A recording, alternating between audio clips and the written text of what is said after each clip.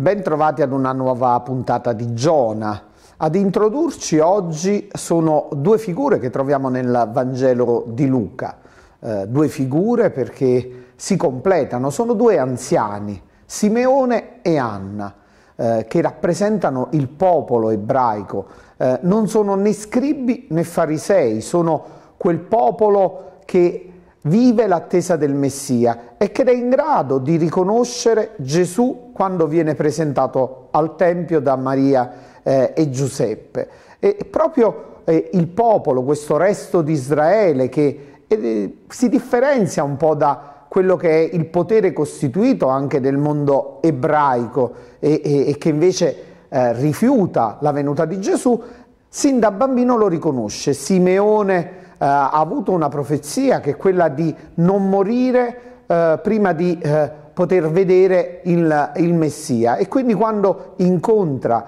questo bambino lo riconosce e ringrazia il Signore perché la profezia eh, si è avverata. E la stessa cosa Anna, anche lei anziana, eh, eh, sopra gli 80 anni, eh, che rimasta vedova dopo eh, sette anni, ci dice il Vangelo di matrimonio, eh, rimane a servire Dio nel Tempio e anche lei eh, aspetta la venuta eh, di, eh, di, questo bambino, la venuta del Messia e lo riconosce. E sono due figure, questi due anziani, che ci mostrano come anche la tradizione, il passaggio eh, della fede eh, diventa qualcosa di importante che vive soprattutto nel popolo. In particolare poi la figura di Anna eh, la leghiamo molto a quella di tante donne che vivono la quotidianità della Chiesa e che con la loro preghiera la rendono eh, viva e vera anche in tante piccole realtà del territorio. Ma queste due figure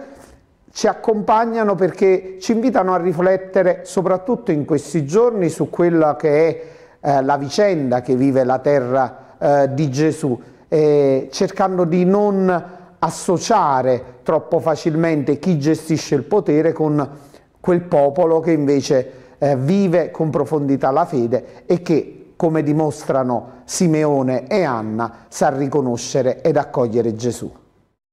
È nostra ospite oggi Maria Aveliallo Guercio, docente di Sacra Scrittura presso l'Istituto Superiore di Scienze Religiose San Matteo eh, di Salerno e docente anche eh, di religione. Grazie Velia di essere qui con noi. Grazie a te Vito per questo gradito invito. E, ehm, naturalmente Velia è eh, una grande appassionata dell'ebraismo e il pensiero di invitarla nasce proprio dal fatto che oggi ci troviamo in una situazione particolare nella quale eh, soprattutto le vicende che stanno caratterizzando eh, la Terra Santa, lo scontro tra eh, Israele e Hamas stanno spingendo alcune France a rispolverare una sorta di antisemitismo eh, e invece noi dobbiamo riflettere eh, su eh, quella che è la bellezza e la ricchezza di un popolo senza confonderlo con eh, le gravi eh, negligenze, i gravi attacchi, le gravi violenze che eh, da un lato caratterizzano eh, il terrorismo di Hamas, quindi il lato palestinese, dall'altro caratterizzano il governo israeliano, un governo fondamentalista che eh, sta cercando lo scontro e naturalmente come anche il Vaticano ha più volte eh, detto e, e, e, i suoi appelli sono stati eh, fino ad oggi diciamo sono caduti nel vuoto, però bisogna sempre stare dalla parte delle vittime. Eh, per farlo però noi dobbiamo conoscere. Allora veramente Velia eh, riflettiamo un poco su quella che è oggi la dimensione del, eh, del popolo ebraico. C'è una ricchezza alla quale noi eh, naturalmente attingiamo come cristiani, non dobbiamo mai dimenticare che Gesù era un ebreo, che la storia della salvezza nasce eh, nel cammino di un popolo, che è proprio il popolo eh, ebraico. Eh, la passione che tu hai proprio per, per lo studio di, della Sacra Scrittura e proprio io vedo anche delle, eh, un po' delle tradizioni ebraiche, quindi cercando di sottolinearne il, il valore e anche l'attualità. Dico da dove, da dove nasce? In realtà sin dai primi anni dell'università eh, mi sono appassionata per quanto riguarda gli studi dell'Antico Testamento eh, la lingua ebraica e studiando la lingua ebraica mi si è aperto un mondo e da lì poi è iniziato un approfondimento costante su quella che è la cultura, la storia e le tradizioni ebraiche.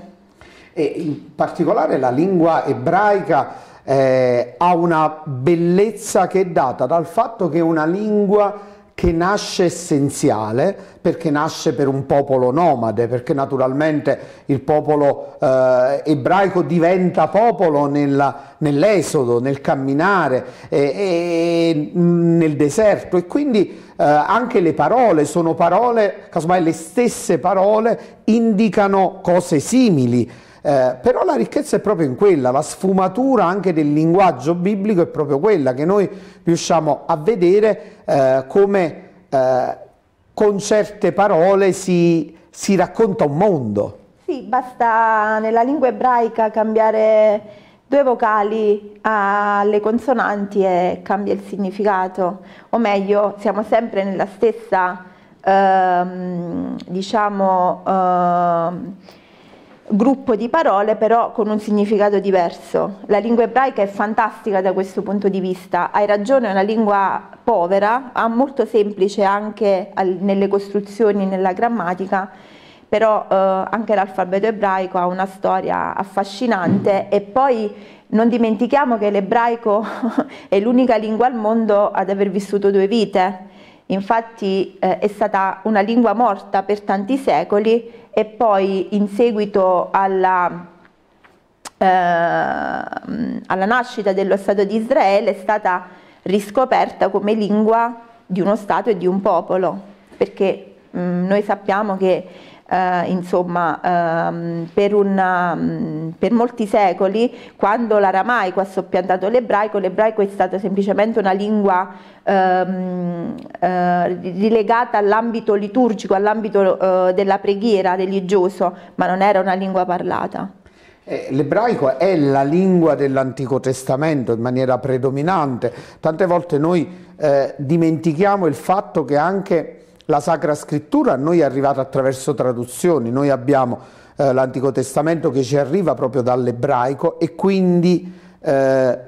è bello scoprire il senso profondo anche delle parole, tu dicevi anche delle lettere, mentre ad esempio il Nuovo Testamento è, è, scritto nel greco della, della Coenè, quindi eh, eh anche lì la traduzione alle volte rischia di tradire il senso, quindi approfondire anche il, eh, gli aspetti etimologici delle parole ci aiuta a comprendere la profondità di quel linguaggio. Sì, assolutamente. Eh, leggere il testo nella lingua in cui il testo è stato redatto è sicuramente una ricchezza enorme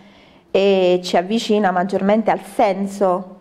eh, del testo e a quello che il testo realmente vuole dire. D'altronde tradurre, dicevano famosi esegeti, è sempre un po' tradire, eh, si adatta sempre diciamo, alla traduzione e invece leggere il testo nella lingua originale è tutt'altra cosa, si scoprono sfumature che magari nelle traduzioni si perdono. Ti potrei fare un piccolissimo esempio, noi quando leggiamo la Genesi diciamo la chiamò donna perché dall'uomo è stata tratta, in italiano non rende tantissimo, in ebraico invece sì, perché uomo è ish, donna è isha,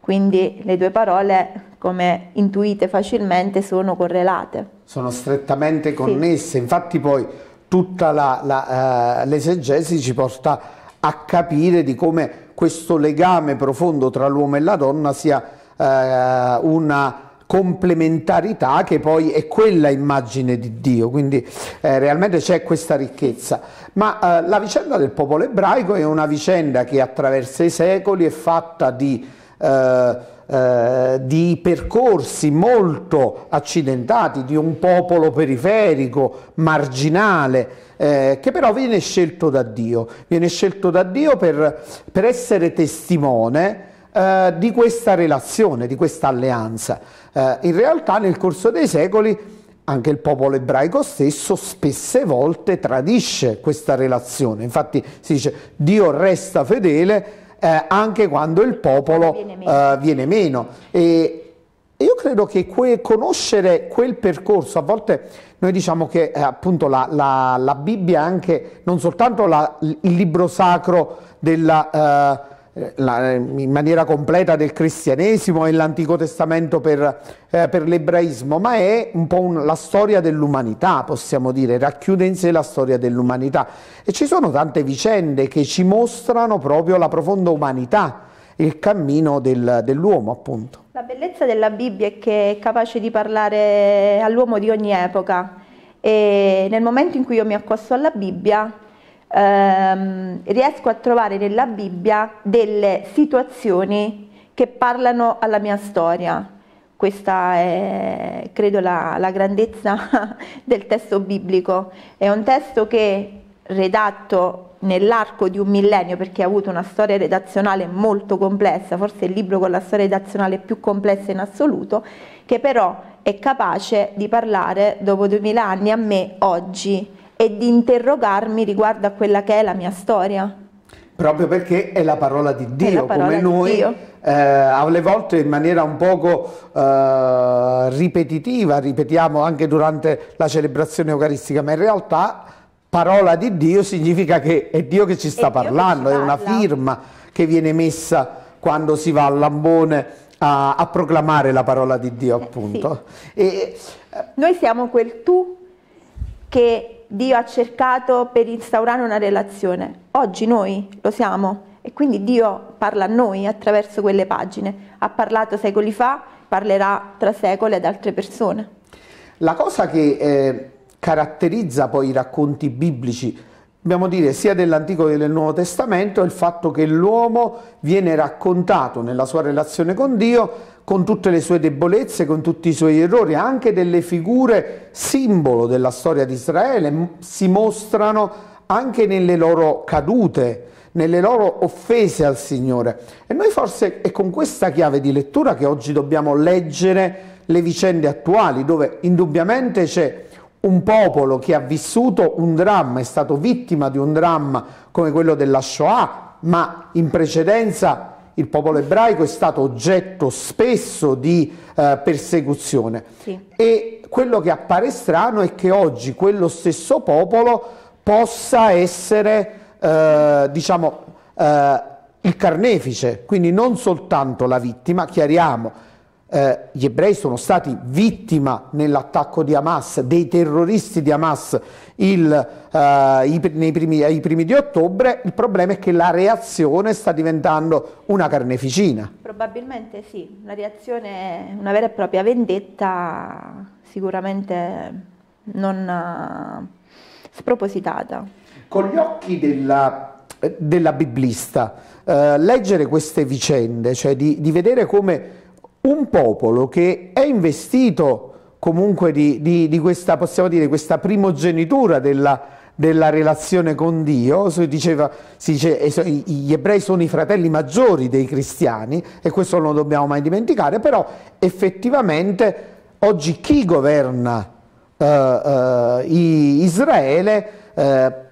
anche per convenienza politica, sta tenendo alto il livello dello scontro. Eh, in una chiave proprio biblica di storia della salvezza, come possiamo leggere anche queste vicende? Allora, come tu hai ben detto, la storia è fatta da uomini, da uomini che spesso vengono meno anche all'alleanza, possiamo fare esempi nel testo biblico, insomma, numerosi. Pensiamo a Davide, pensiamo eh, anche al re Salomone che è considerato l'emblema della sapienza, ma che però verso la fine del suo regno insomma eh, crea qualche problema, tanto che poi il regno si sfascerà in due parti. La storia è fatta da uomini. Il rischio che corriamo oggi è quello di identificare il popolo ebraico con la politica estrema di Netanyahu. E questo è un rischio forte, un rischio presente, perché eh, in seguito anche al rinfocolarsi delle problematiche in Medio Oriente sono ehm, diciamo, scoppiati episodi di eh, antisemitismo in vari paesi europei, negli Stati Uniti. Quindi dobbiamo stare attenti a questo. La politica di Netanyahu è la politica di un governo, la politica di un uomo che si rifà comunque ad un'ideologia di estrema destra, perché purtroppo in seguito alla caduta del muro di Berlino, con l'immigrazione in Israele di ehm, ebrei che avevano vissuto prima nell'Europa dell'Est e in Russia, diciamo, ha cambiato un po' la, un po la geografia eh, sociale e politica del paese, spostando l'asticella verso l'estremismo di destra e portando poi eh, alla situazione che ben conosciamo, eh, dove ci sono frange estreme, soprattutto rappresentate dall'ebraismo ortodosso, che eh, abbracciano l'ideologia di Erez Israel e quindi eh, tentano di ricostruire quella che era la vecchia terra di Israele e non concepiscono la possibilità di due popoli in due stati che convivono pacificamente, che è poi la, eh, la strada da perseguire assolutamente se vogliamo costruire un futuro di pace in, quelle, in quei territori. E il dramma è proprio che proprio quella terra, quella che noi definiamo terra santa, sia così eh, dilaniata dal, dal, sangue, dalle vittime innocenti. Ehm, eh, soprattutto eh, le vicende ci mostrano come dietro delle ragioni, possiamo dire anche giuste, come ridare una terra ad un popolo che era stato uh, vittima di, di, di, della devastazione, voglio, della, del tentativo di un genocidio come è stata appunto la Shoah, eh,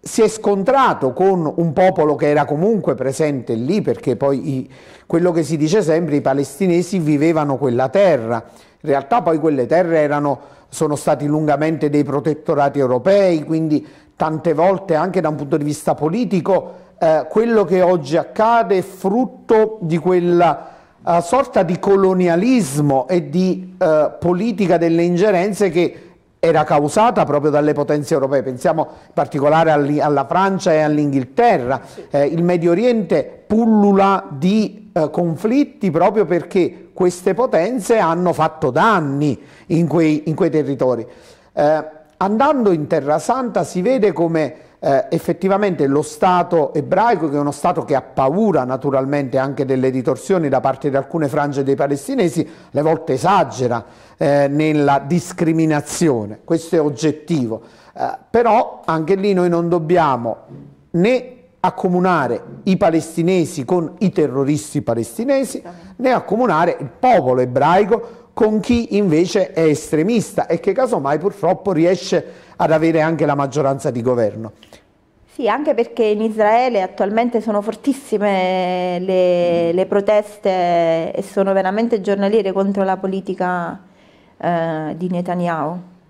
E, e, forse proprio questo, questo problema anche di, di, consenso porta ad alzare il livello dello scontro. Eh, ricordiamoci sempre che quando sono stati sottoscritti gli accordi di pace, eh, si poteva arrivare ad una soluzione dei due popoli, due stati, ma è proprio in quel momento che da un lato in Palestina si è sviluppata eh, la frangia terroristica di Hamas e dall'altro sono venute fuori le frange estremiste in Israele. Quindi eh, noi dobbiamo imparare anche a leggere queste situazioni non eh, da tifosi dell'uno o dell'altra parte, ma da chi vede che purtroppo il male è all'opera ed è il male all'opera soprattutto nei momenti in cui sembra prevalere la pace. E noi cristiani lo, lo riconosciamo perché poi nella vicenda di Gesù eh, noi abbiamo sperimentato questo, è accaduto questo, cioè di fronte al bene, al dono totale di Gesù,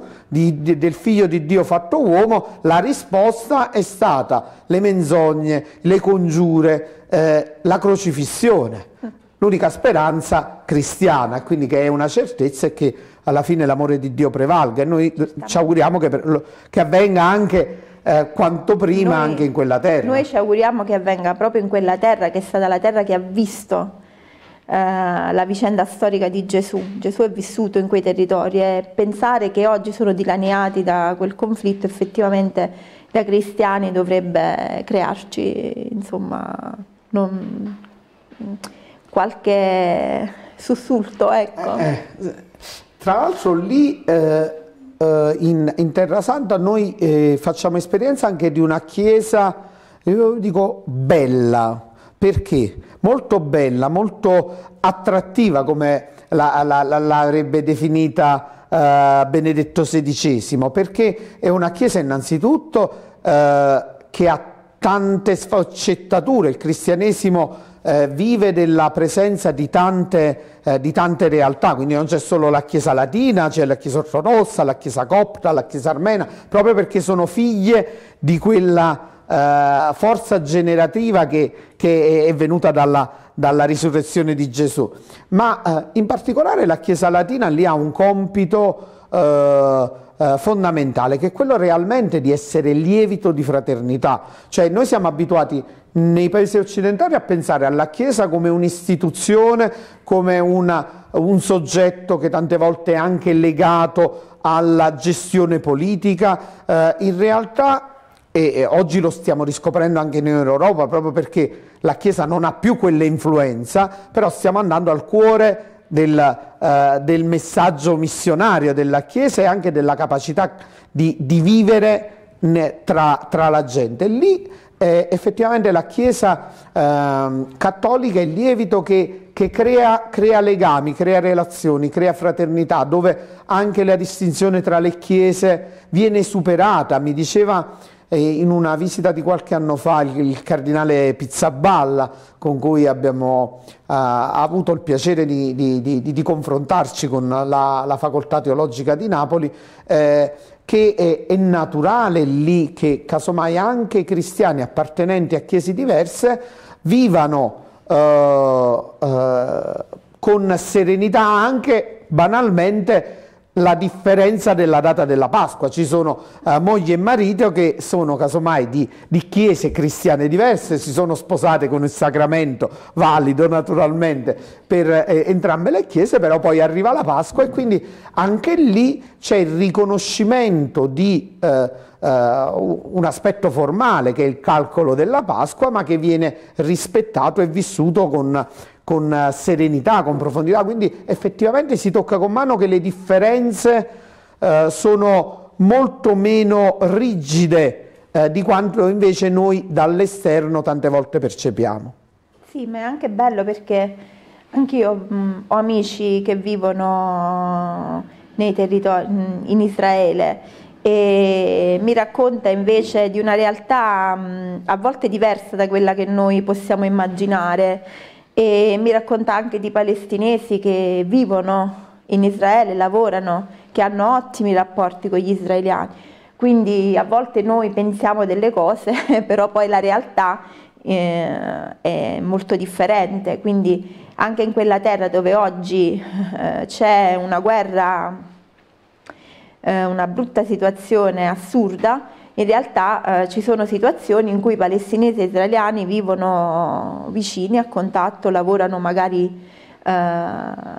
insieme in, in, in, fraternità, in serenità. Eh, quello che dovremmo far capire ehm, è, è, proprio che eh, i palestinesi frequentano le università eh, ebraiche, sì eh, eh, molti dei collegi delle scuole sono cristiane, sono aperti agli ebrei e sono aperti ai palestinesi. Eh, gli ospedali ci sono medici arabi e medici eh, eh ebrei e che curano eh, vicendevolmente i malati che arrivano. Voglio dire, il senso di fraternità si tocca con mano e al di là delle appartenenze eh, questa... Uh,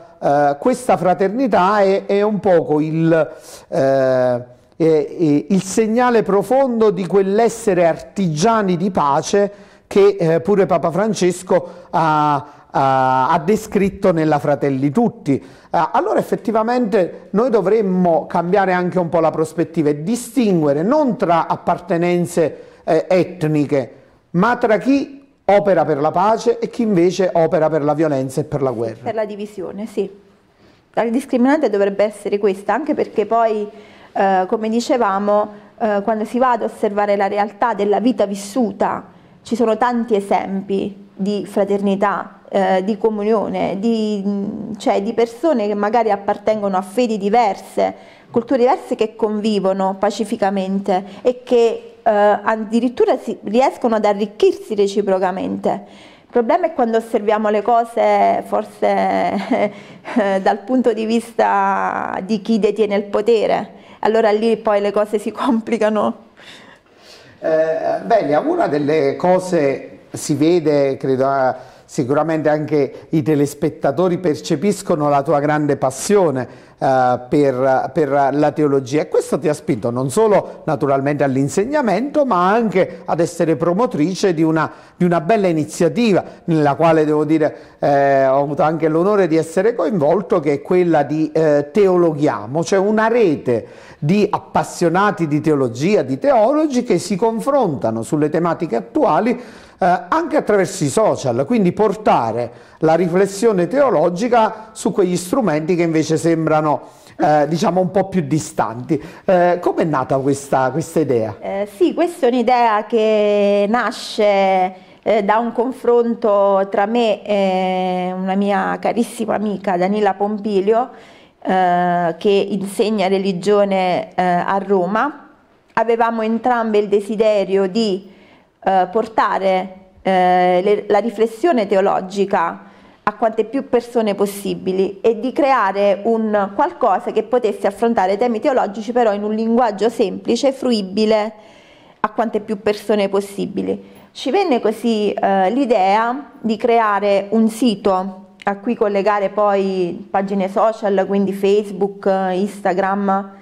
eh, dove poter um, scrivere, dove poter parlare di teologia, dove poter leggere anche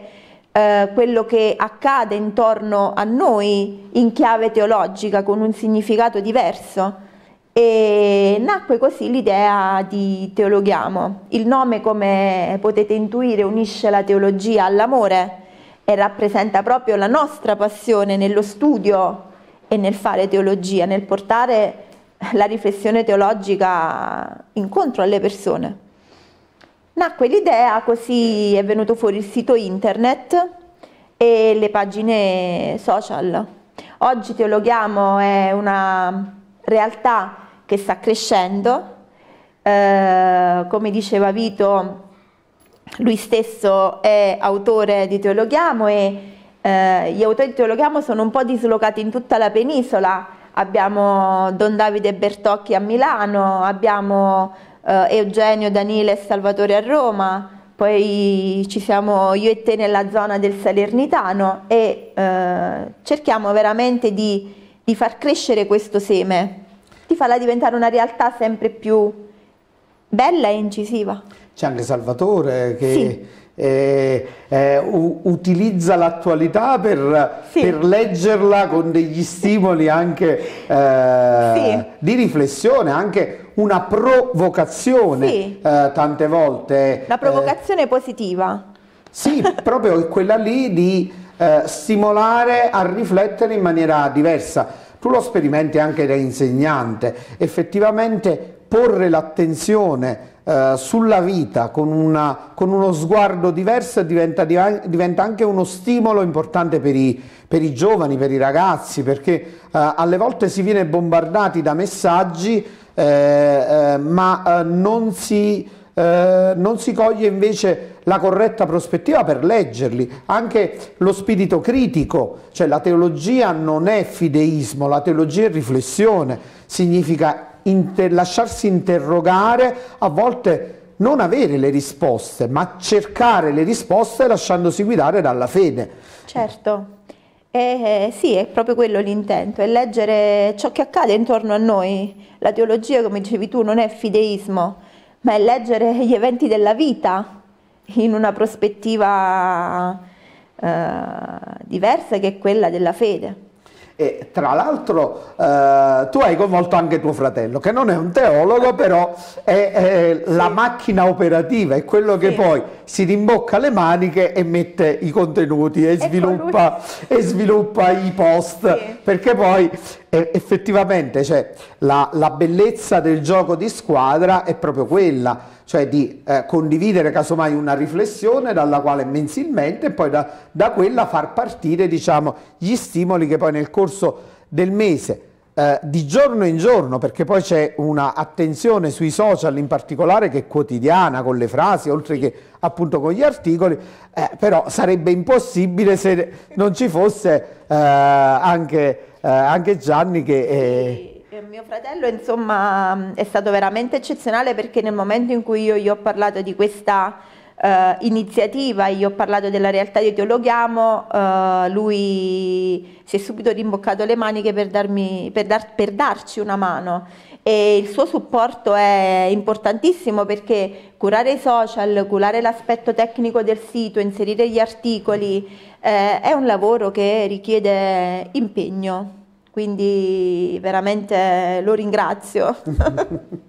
ecco, stiamo vedendo Andrei in regia ci sta mandando alcune immagini proprio di Teologhiamo, sì. teologhiamo.com è il sito sì. e poi naturalmente ci sono uh, tutte queste pagine uh, social. Eh, scusami, è anche bello perché Teologhiamo accompagna i suoi follower ogni giorno con una frase, eh, noi la chiamiamo Buongiorno Teologhiamo ed è um, una frase che aiuta ad iniziare bene la giornata che vuole essere una riflessione e che accompagna i nostri follower nella loro vita quotidiana. Prima di iniziare il lavoro, la scuola, le faccende mm. quotidiane, eh, possono leggere quella frase e magari lasciarsi eh, interrogare, fare una riflessione personale su quello che viene poi postato sulla, sulla pagina social.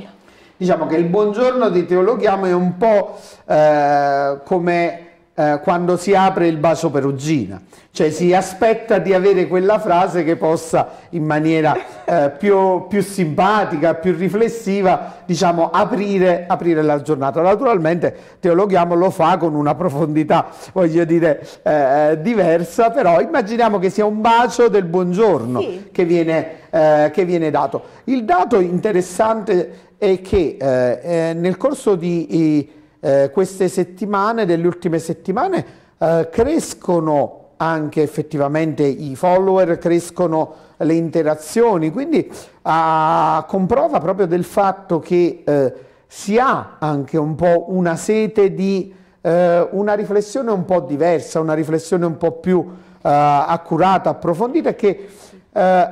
si vogliano delle parole di speranza, perché poi riflettere su Dio è sempre una, sì. una uh, parola di speranza. Le, paro eh, cioè, le persone hanno bisogno di profondità. In una realtà come quelle dei social che spesso è superficiale, è votata solo all'apparenza, allora una riflessione più profonda e che aiuti anche noi ad entrare più in profondità in noi stessi è una cosa importante, è una cosa che eh, le persone desiderano e quindi noi siamo veramente contenti perché dialoghiamo poi attenta anche ai periodi liturgici, ad esempio in questo periodo le frasi sono ovviamente eh, ispirate dal periodo che stiamo vivendo che è quello di Quaresima, di preparazione alla Pasqua. Le persone hanno sete di profondità e noi siamo contenti di portare avanti questo che è un servizio. Tante piccole, eh, tanti piccoli granelli che poi eh, riescono uh, ad arricchire proprio uh, questo campo e a farlo, a fecondarlo. Quindi veramente io eh, ti ringrazio proprio e ringrazio tutti anche i collaboratori di, di Teologhiamo perché veramente eh, è una, è, una, squadra che eh, si dedica con passione a a questo uh, servizio ecclesiale e io invito casomai anche i telespettatori in questo periodo a, a consultare anche un po' il sito perché eh, a consultare anche un po' i social perché eh, effettivamente eh, ci sono delle parole di speranza che possono accompagnare eh, nel cammino di Quarissima. Allora io ringrazio naturalmente eh, Velia, Maria Velia Loguercio per essere stata con noi. Oggi eh, concludiamo questa seconda stagione eh, di Giona, eh, lo facciamo quindi eh, con un cammino che ha caratterizzato con tante storie, con tanti temi eh, affrontati e ci prepariamo naturalmente alla Pasqua. nel ringraziare tutti quanti voi che ci avete seguito con tanta attenzione e tanta passione in queste, in queste settimane, eh, in tante settimane che eh, hanno accompagnato eh, e hanno caratterizzato la presenza di Giona su Info Cilento. Io eh, ringrazio naturalmente in regia André eh, Giaccio che ha naturalmente caratterizzato anche con il suo contributo questo format così particolare quindi nel salutarvi questa volta non dandovi appuntamento alla prossima puntata, ma nuove idee che naturalmente caratterizzeranno anche la programmazione di eh, Info Cilento, noi ci lasciamo con eh, il solito contributo video, che è un eh, piccolo eh, modo per ripercorrere eh, questo eh, cammino che abbiamo fatto in questi mesi. Grazie a tutti e buona Pasqua!